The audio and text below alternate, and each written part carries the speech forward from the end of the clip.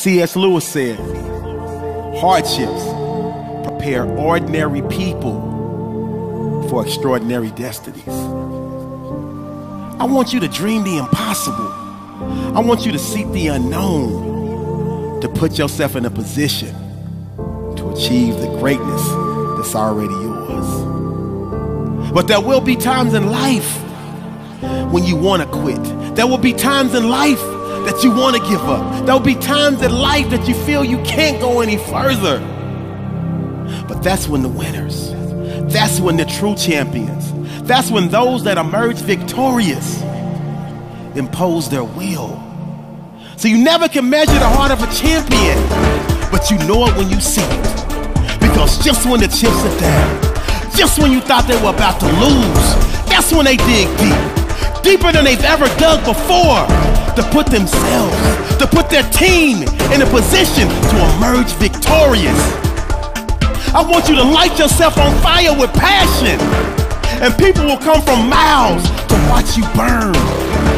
Because people will pay to witness greatness. People will pay to see you overcome the adversities that they're faced with. And those who fail to impose their will, they remain nameless, they remain faceless. That's not you. You have the heart of a champion buried deep inside. And so when you're in that grimy situation, when you face with all the drama, all the failures, all the setbacks, you dig deep and you impose your will on the situation. Because you know giving up is not an option. You know quitting is not an option. You know not following through is not an option. So you push yourself to give one more rep. You push yourself to give one more set. You push yourself to give one more try. You push yourself harder than anybody has ever come before you. And you push yourself harder than your present day competition.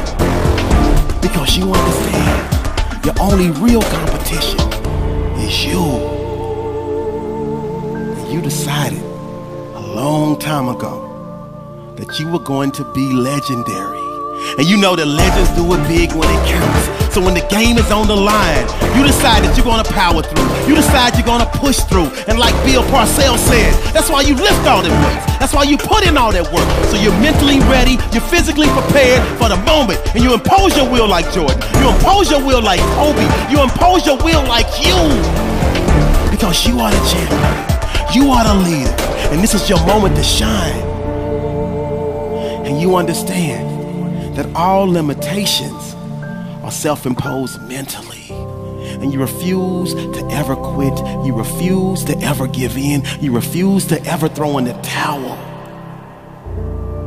You choose to go the extra mile. And that's why the impossible is always possible. The unbelievable is always believable.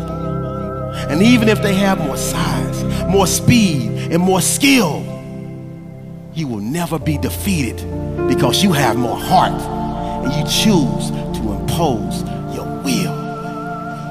This is a great day